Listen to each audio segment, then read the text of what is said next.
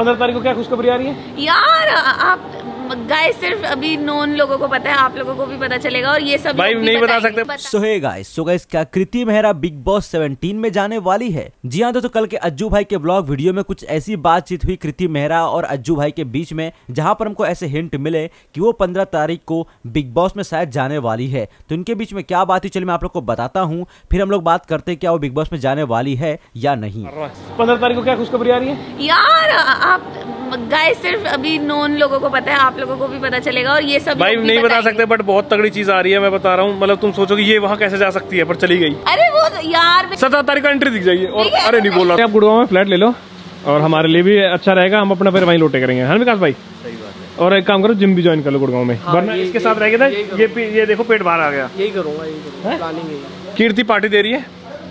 पंद्रह तारीख को बताया है कि वो जा रहा है, उसका हमेशा कैंसिल हुआ है। तो यहाँ पर दोस्तों आप लोगों ने उस क्लिप को देख लिया, जहाँ पर ऐसी बात चल रही कि 15 तारीख को कुछ सरप्राइज़ आने वाला है और 15 तारीख को कृति मेहरा कहीं पर जाने वाली है। अब आपको क्या लगता है, क्या कृति मेहरा बिग बॉस में जाने वाली है? क्या जू भाई और कृति मेहरा बिग बॉस के बारे में बात कर रहे हैं? आपको क्या लगता है, आप लोग आपकी राय कमेंट्स में बताइएगा। वैसे गैस आप लोग को क्या लगता है, क्या कृति मेहरा को बिग बॉस में जाना चाहिए या नहीं? और अगर कृति मेहरा बिग बॉस में जाती है तो क्या आप लोग उनको सपोर्ट करोगे या नहीं? आप लोग हमें इसके बारे में भी कमेंट्स में ज़रूर बताइएगा।